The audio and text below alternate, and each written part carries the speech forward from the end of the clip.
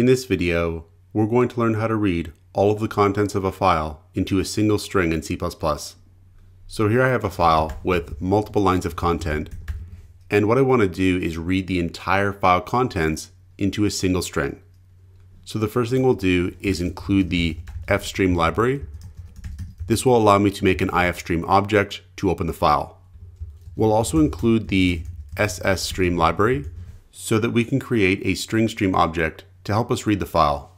Next, we'll create an ifstream object with ifstream file, and then we'll open the file with the open method. So we'll have file.open file.txt.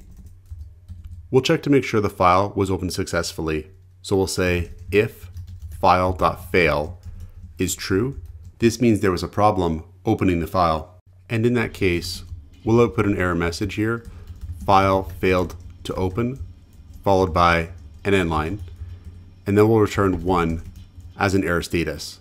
So we can save this, and if we change the file name here to bad file that doesn't exist, then if we compile and run this program, we should get the error message. So we'll try it out here, and we get file failed to open as expected. So we'll change this back to file.txt, and let's keep going here. So next we're going to make our string stream object and we'll call it buffer.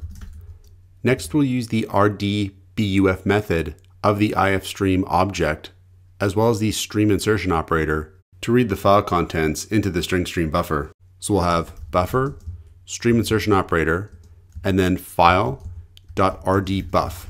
So the rdbuf method is going to return a pointer to the stream buffer object associated with the file ifstream object, and the stream insertion operator will read all of the contents of the file into the string stream buffer. Next, to read the string from the string stream buffer, we'll create a string called file underscore contents, and we'll use the str method to actually store the string into file contents. So we'll have buffer.str. Finally, we can output the file contents. So we'll have cout and we'll output the file contents. And then we'll also close the file. So we'll have file.close.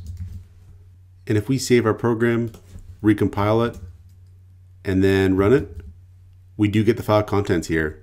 Now there are actually many other ways we could solve this problem, but this is one of the shortest and easiest ways we can read all the contents of a file into a string in C++. Check out portfoliocourses.com, where we'll help you build a portfolio that will impress employers.